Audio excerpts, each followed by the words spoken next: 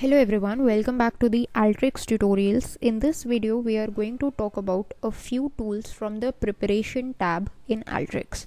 So first of all, uh, we have discussed the tools of the in-out tab. That means the tools that would be handy when we are importing the data or exporting it.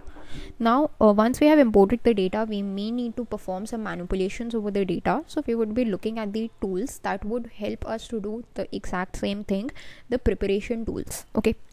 So first tool that we are going to look for is the autofield tool the autofield tool we have already discussed in the data types video that it is used to read through all of the records of an input and set the field type to the smallest possible size that is relative to the data contained in the column. So what we are going to do is in this particular video see the practical application of the autofield tool. So first of all what i have done is i have already input the data using the uh, input data tool. So because this is the step that we have done multiple times till now. So we do not need to again see it. Next i have cleansed this data. Like in the subcategory there were some of the trailing white spaces. So i have cleaned it. And um, let me just show you how to clean it real quick. Uh, the use of this data cleansing tool. So let me just remove this tool once from here. Now how can you clean the data is you can just bring in the data cleansing tool or what you can do is wait for um, Alteryx to automatically bring it in. Okay so let's see how to do that. So first of all uh, you have inputted the data. Then you need to just search for the inconsistent blocks. That is a subcategory. Go on to these three dots. Click on data cleanse remove unwanted characters. Leading slash trailing white space. Click on apply. Now once the changes have been applied click on this green tick icon. That's okay. So now the changes would be applied and you would see the data cleansing tool has been brought in automatically. Okay. Now its configuration panel is also present there which you can use to further clean the values but uh, now our data is clean so we won't be using it anymore right? The next thing we are going to do is use the autofield tool. So let's just bring in the autofield tool over here. Now if you see the data preparation tools all have two anchors. The input anchor and the output anchor. The input anchor is used to take the input data and the output anchor is used to present it further. Okay. So this is the autofield tool. As soon as I brought it up, there is this configuration panel. Now here I can select the values through which you want to change the field type. Okay. Let's just clear all the values and select only category, subcategory and segment from here. Now once we have selected these fields, click on run. Now what will it do is it would uh, show us the message box that's okay. Now let's just see the messages that um, would actually tell us what changes it had made. So uh, the field type of segment has been changed to string for 8 characters. Field type of category changed to string of 15 characters and that of subcategory to string of 11 characters. So this is uh, what the change is made by the autofield tool.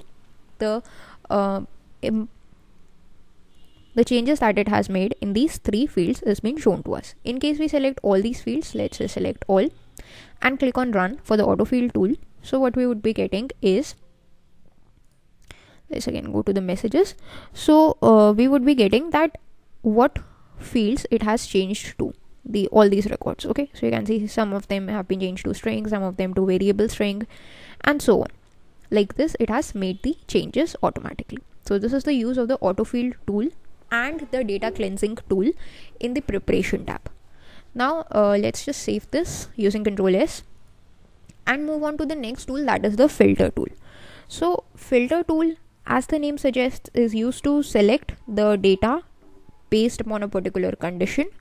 Uh, the rows of the data that meet the condition are output to the uh, screen in the form of a true anchor. And those that do not meet the criteria are output in the form of a false anchor. So if we just bring up this filter tool over here you can see it has three anchors.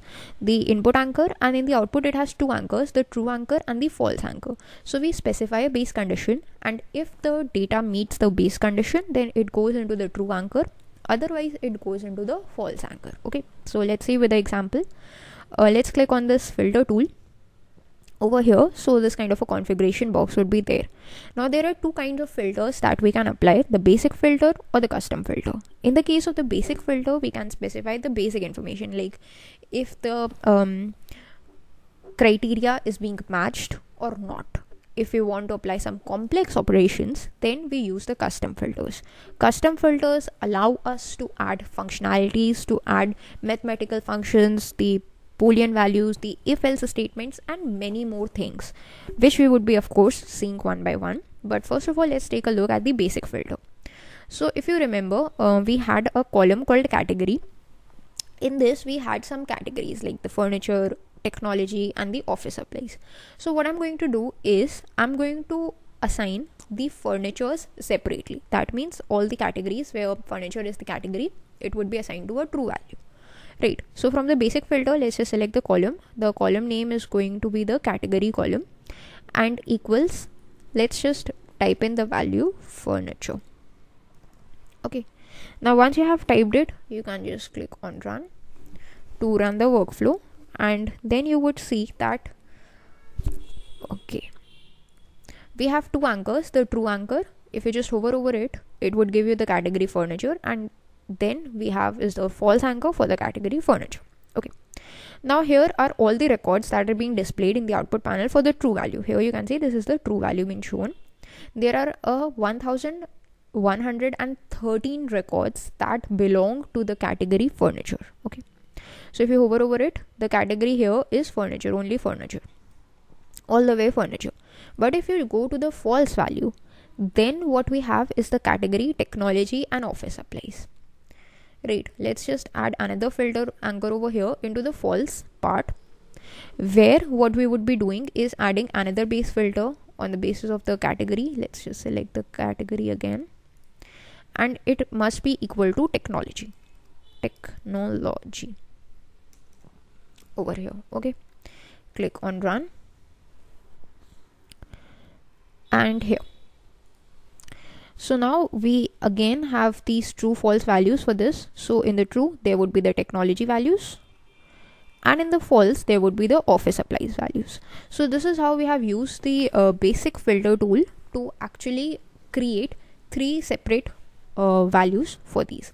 Like the furniture categories are separate the technology is separate and the office supplies is now separate in the separate records. Okay so this is how the basic uh, filter is being used. Now what i'm going to do is just i'm going to copy these two fields or these two tools that is the input tool and the data cleansing tool into a new workflow. And uh, show you the demonstration of the uh, filter tool for the custom filter okay? So let's just bring in our tool over here connect it. And here let's just select a custom filter right. So here is the fx which you can use to apply any of these conditions or any of these functions. Like you want to convert it right? Or you want to perform any kind of a manipulation over here. You want to apply any of the conditional statements. If you want to allow any date time uh, applications any of the file applications that you can do over here. Like the string functions so let's just use the count words. So i basically needed to count the words okay? And then uh, from this x you can just select the existing columns. So i want it to select the count words for the city. Click on run. And then uh, it's going to give you the values for of course there won't be any false values right now because uh, there could not be any false values for the count function and it would give you uh, the count of the characters of the cities right? Or basically what we can do is actually use any kind of a basic filter like uh, let's say if the profit is greater than equal to 1 so that would be a profit right? So we have written a basic filter query but if you want to see how it is looking in the custom filter there you can apply it. Profit is greater than equal to 1 now if you just run it what you would be getting is in the two values the true and the false values. So that means the records where we are getting a profit and the records where we are getting a loss. In the case of the true are the ones where we are getting a profit. Here you can see all of these values we are getting a profit. But in these values we are getting a loss. You can see this is a loss. Okay. So if we just go to the messages um, you would get that in the 4008 records there were the true values. That means there is where we are getting a profit and the remaining 1183 values return false. That means these are the values where we are getting a loss. So this is the usage of the filter tool in Alteryx and this is how we use it. So that's all for this video. Thanks for watching